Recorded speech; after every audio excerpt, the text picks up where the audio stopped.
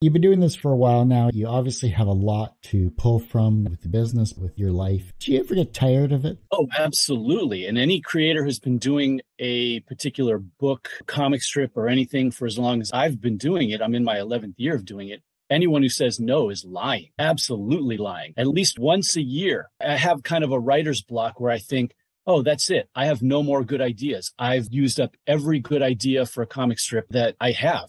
There's no more. The well is dry. And then a week or two later, I have more ideas and then I do more strips. And I think, oh, yeah, that's a really good one. That happens all the time. When you know you have to do it, oh, I got to get it done before Wednesday and I've only got a day to finish it. It can be grueling. It's like a job where you have to just sit down and make yourself do it, even though you're not enjoying it. Once you're finished with it and you look at it and you post it and people comment on it, then you're enjoying it all over again. Yeah, it is a love hate thing. I think that any creator will tell you that. You know, the fan reaction has been consistent. You know your audience. Have fans come to you with their own story ideas? Does that help you? That happens all the time at a convention or if I see somebody that I know out, they will say, Oh my God, I got a great idea for a comic strip. You got to listen to this one. I got a great idea. Spoiler, it's never a great idea.